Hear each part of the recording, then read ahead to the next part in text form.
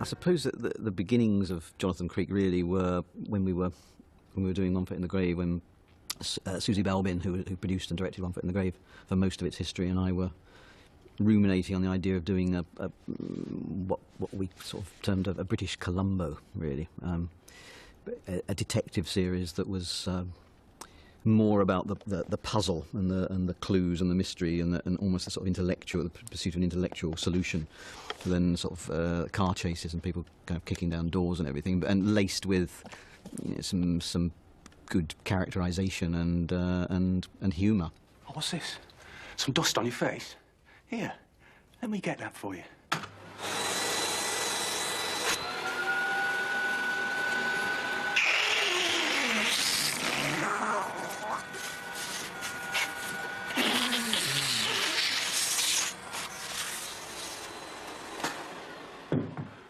Near my wife again. Ever. Ever. Ever. Definitely. Understood. I'd started reading impossible crime fiction, and these are the novels of people like John Dickson Carr and certain of the, the Father Brown stories by um, G.K. Chesterton, um, which revolved around people being found dead in locked rooms, sealed rooms that the murderer couldn't possibly have escaped from, um, which I, I, found very exciting in a way. And um, at some point, I think I made the decision that, uh, in addition to it being a detective series with, with all of all those other ingredients, um, that would be a nice kind of um, theme for it. Nobody touch anything.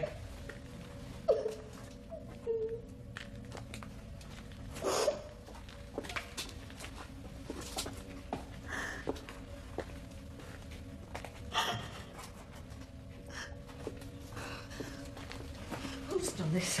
We no doubt, I'm afraid this was self-inflicted. No, he can't have. Look, perhaps it's best if you just... God's sake! Jack didn't shoot him, so he couldn't have. He had crippling arthritis in both hands. Someone set this up. Mrs. Holliday, we're 30 feet underground. You saw yourself how those doors were bolted on the inside. It's a simple physical fact. Nobody could possibly have killed your husband and then left this room. I suppose ultimately the, the great thing of beginning to work with Jonathan Creek was really meeting David Renwick because I think he has influenced me in, in a big way in my approach to comedy, probably, in that he's got such a good comic eye and a, a sense of comedy. Pleased to meet you, Jonathan Creek. Madeline's a little shy because, uh, shall I tell him? The two of us are on a blind date. Get out of here. I placed an advertisement in one of those contact columns. Madeline replied, and here we are, testing the water, as twere, to see if we want to get into bed together. Not literally, I hasten to add. That's just a term we use in corporate management. Though speaking for myself, I have to say, one of Cupid's arrows has definitely found its mark.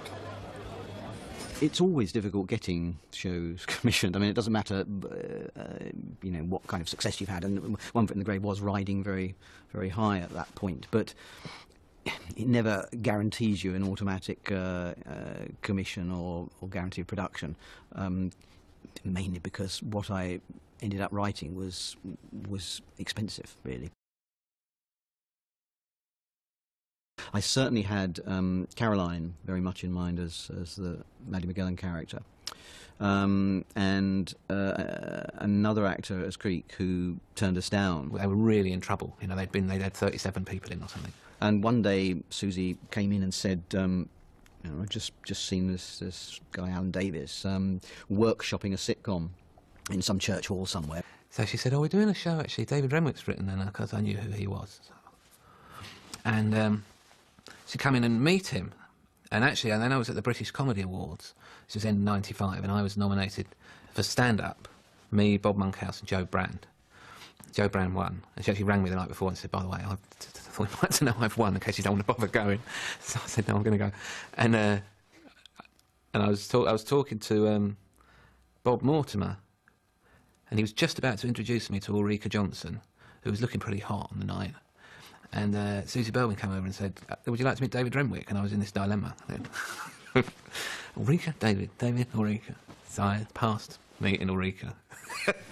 and um, he came in, had a meeting, came in wearing the duffel coat, which we sort of thought, well, maybe we should keep that. Maybe we should keep the long hair. which he had at that time, and um, you know we um, we did a, a little uh, mini screen test on video when uh, he and Caroline just read through the script across a table, um, and I just remember putting that tape on and thinking, you know, yeah, this is the closest anyone has got to this character, you know, and you know he wasn't really even trying at that point. And I was just sort of believing it. I wasn't seeing a performance anymore. I was just seeing a character. Who was the character I'd written?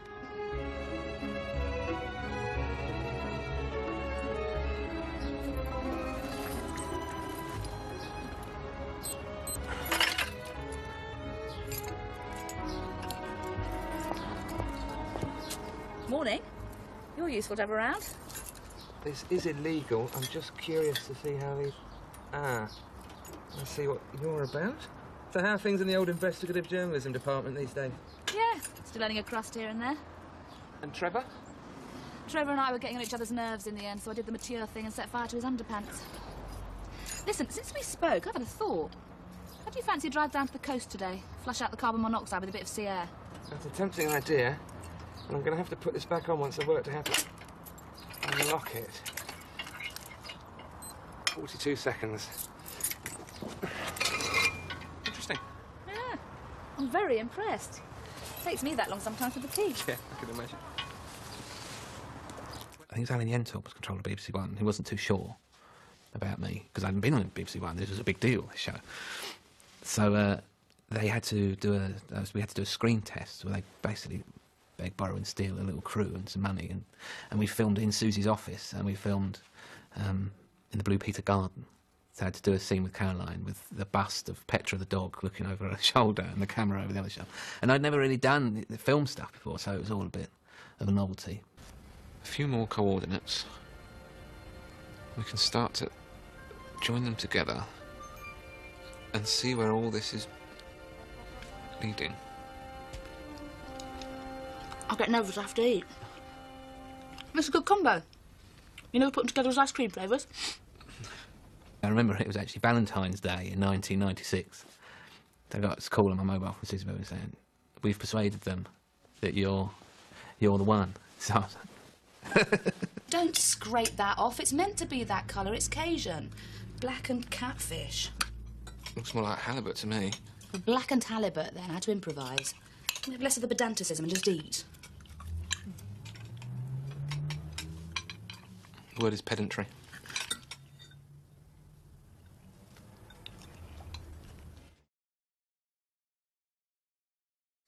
My first day on set, um, I turned. I didn't. I had no idea what was going to happen. First of all, I, I was. They said we're shooting in Kentish Town, and I'm thinking, how do I get to Kentish Town? And then a car comes and picks me up, so that was good.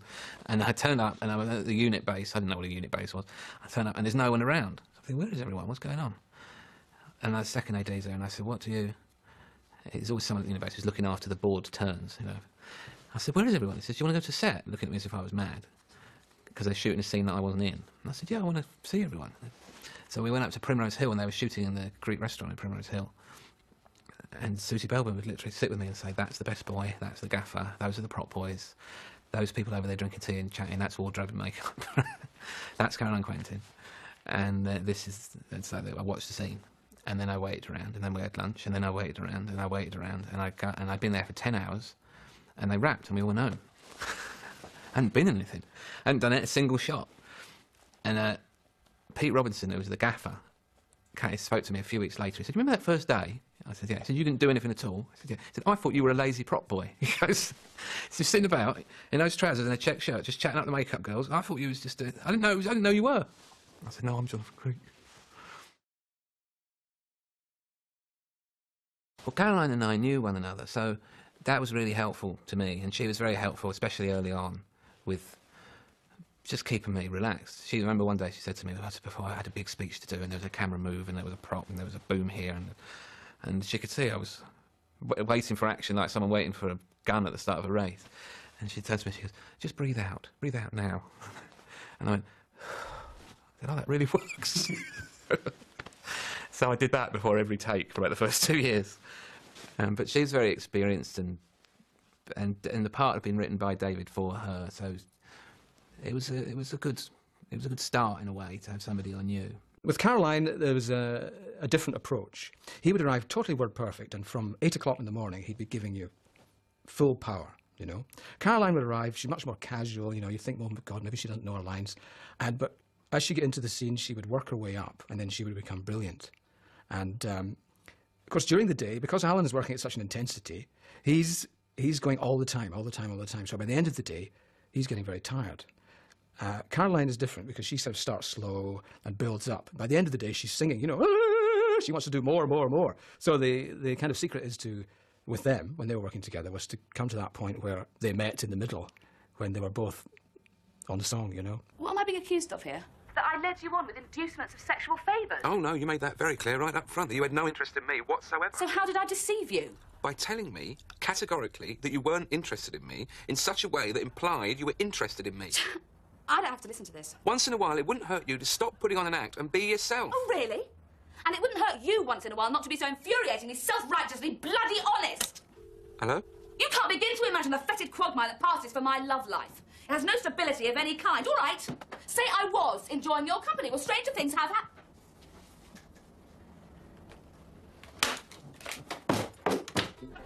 Hello? Caroline's sense of timing is fantastic. And she, again, has this great ability to make you believe, believe in her. Also, she was kind of, uh, I remember the thing, wonderful thing about Caroline is she was presented with awful things. Like once we presented her with this huge octopus, which she had to eat and enjoy. And she just went for it in the most wonderful way. So you really believed. I mean, maybe she did enjoy it, but she made you believe that she could enjoy eating this awful thing with all its feelers. She has a great sense of going, going for it, really, which, which is terrific.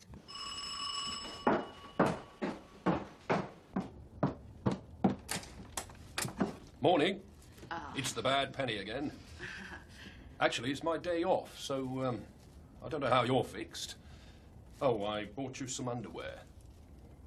Oh, Shelford. I think you better come in for a sec.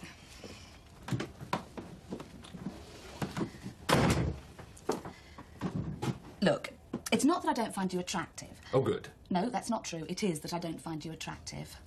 It's no reflection on you as a person. You're very warm and kind and generous. It's just that I can't find it in myself to want to spend another second of my life in your company. Do you understand? It could never work, not even as science fiction. You and me are a total no-no. Still, it's early days, isn't it? And from little acorns, mighty oaks do grow.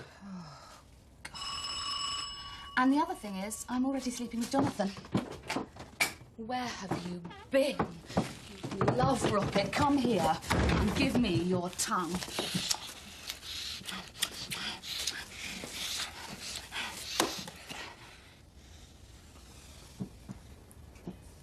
I'll um, see myself out then, shall I? She knew what she was doing. She was very good, and I was really trying hard.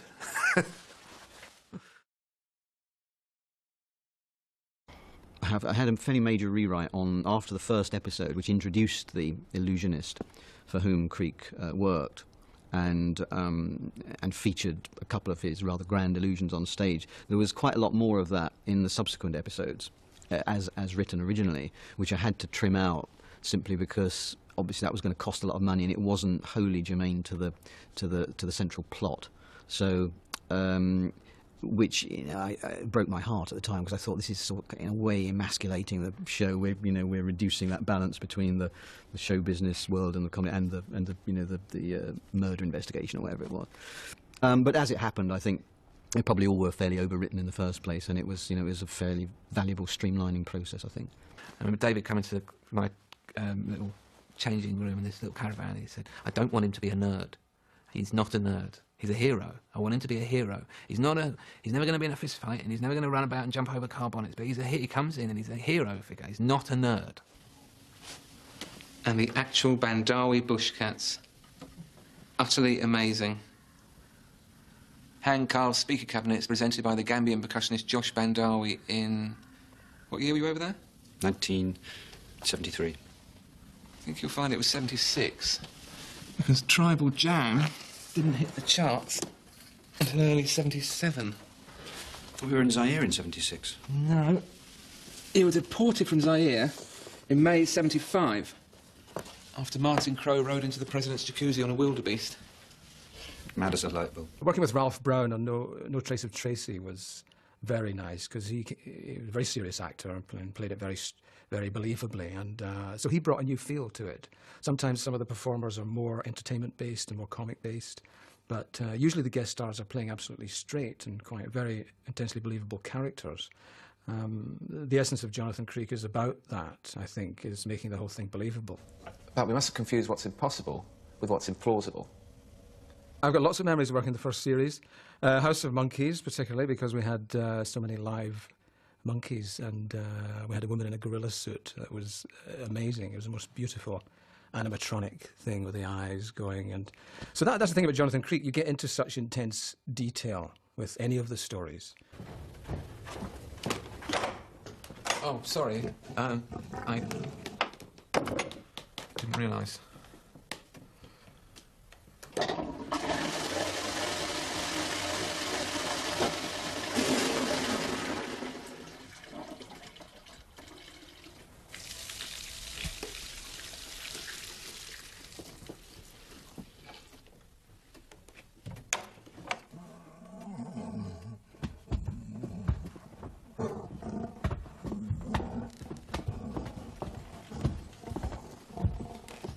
We had an episode called House of Monkeys, where uh, Jonathan Creek is in bed with Maddie, and you think they're going to get it together, and uh, but he's actually he's got a heart monitor on because he's a bit worried about his, his heart rate. so she kicks him out, and uh, there was a nudity clause written in my contract because they wanted to see my bum as I went around the bed, which Caroline was a little bit overexcited about. I thought, frankly, so kept trying to embarrass me and succeeding. But anyway, I come out and then he pulls his pajamas on, or his pajama bottoms on, or something, and he goes out and there's a gorilla on the landing. So he gets chased down the landing by this gorilla, and then falls down this huge staircase. So they send me off and they bring in the stuntman. So he's told he's got to fall down a huge wooden staircase wearing only a pair of pajama bottoms, no padding, no. anything.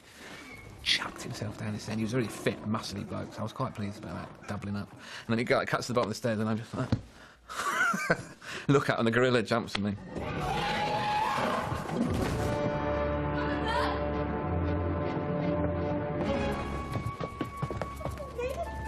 In one instance, working with Annette Crosbie, because I know David had worked a lot with her in the past on One Foot in the Grave, but uh, she was uh, in House of Monkeys. And uh, what I usually do on the hundredth take is uh, get champagne out, you know, when everyone has a glass of champagne. So I did it at lunchtime this day when we were working with Annette. You know, and she, oh, this is great. She had a few glasses of champagne. It came after lunch. We were trying to do a scene with her, and she was, oh, she's saying, I'm not working with that Sandy Johnson again. He's got me drunk. So that was. I hope she will work with me again. She's awfully nice.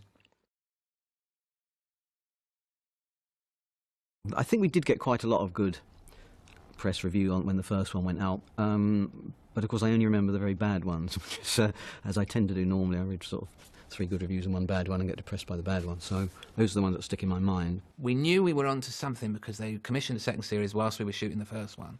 So, and you could feel that you fe- felt okay, no idea how it was going to turn out. Really, I think uh, uh, um, I was surprised when a couple of awards came through, and particularly there was one which was a whatever it is, the National Television Awards, which was a supposedly a phone-in, you know, public vote, which we won.